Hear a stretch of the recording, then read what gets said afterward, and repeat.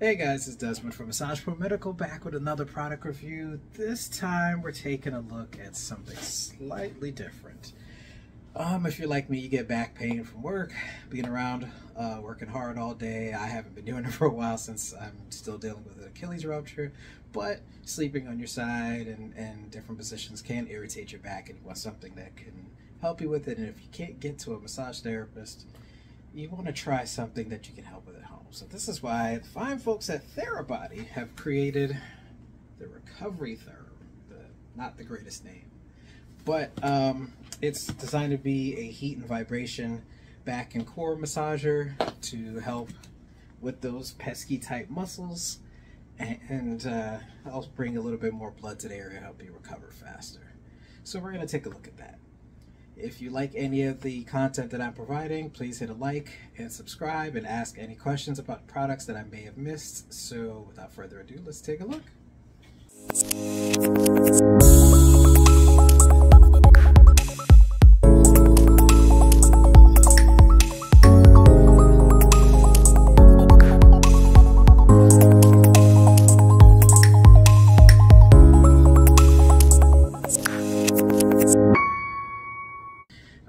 Let's get into this unboxing as swiftly as I can. So obviously this is the front of it from Therabody. Looks pretty sleek and nice. Uh, on the side of it, it tells you what's included, which is the Recoverytherm Vibration Back and Core, removable battery, a soft case, and a USB-C charging cable and adapter. Gotta like that. Easy to use. Everybody has these things. So even if they didn't come along, they have it, but it's nice for it to be included. Um, and then everything is just the same in different languages. On the back, has the same thing, different languages, which just says back and core relief, precise heat, targeted vibration. Features, three levels of heat for back and front treatment, three modes of vibration for independent use, or with back heating, one size fit all design featuring carbon fiber mesh and germanium recovery fabric. Sounds fancy. Um, three hour battery life. Eh, not the greatest, but I mean, you won't be keeping it on all night, certainly. So let's open it up and see what we got. The outside of it slips right off.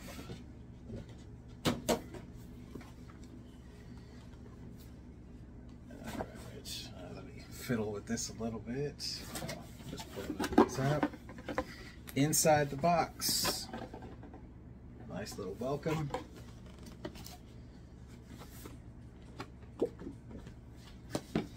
Inside, there's a couple little boxes that, I mean little packages that come with the USB-C cable and some instructions, but this is the soft case, as you can see right here.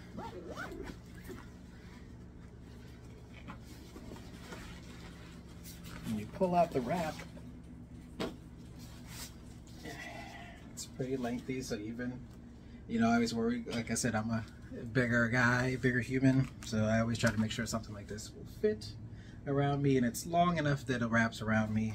Um, the battery pack is usually in the front, right in the front, with where the device settings are, which has heat, up and down and vibration setting on the side and then just the logo on the front with the power right here with the light on top.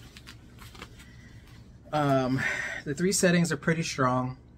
The heat gets up there pretty well and the vibration, they have stuff that goes off and on at the same time or hits targeted areas or goes in a wave.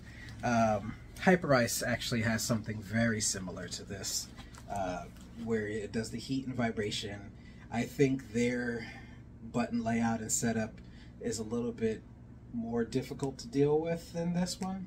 Um, let me see if you can actually hear the vibration on this setting. Turn it on.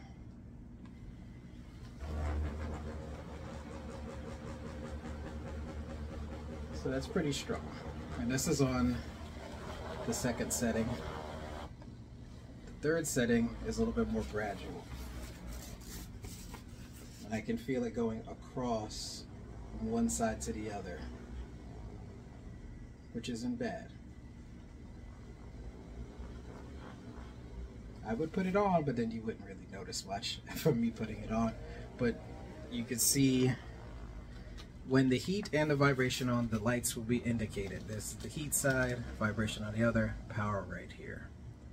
And they're both pretty strong. I will say the one, holding it down turns it off. The one con I would say is that there are certain settings at the higher intensity that it feels more like a skin irritant. So maybe putting it on direct skin isn't the best, maybe a t-shirt. Um, so it'll feel really comfortable. Just don't put it at the highest setting on one of those uh, vibration frequencies. But overall, for what it's worth, pretty good. Um, the price, I think it's around 300 bucks or so. I'll, again, I'll put the pricing and stats and specs at the end of the video so you guys can have that. But I like it. Um, I think both Hyperice and Theragun have put out some decent products. They could probably still use a little bit more time to adjust it.